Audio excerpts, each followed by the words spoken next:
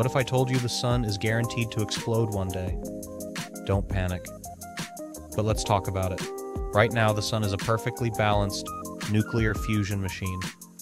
Every second, it fuses hydrogen into helium, releasing the light and heat that make life possible. But here's the problem the sun is running out of hydrogen, slowly but surely. And when the fuel runs low, the balance collapses.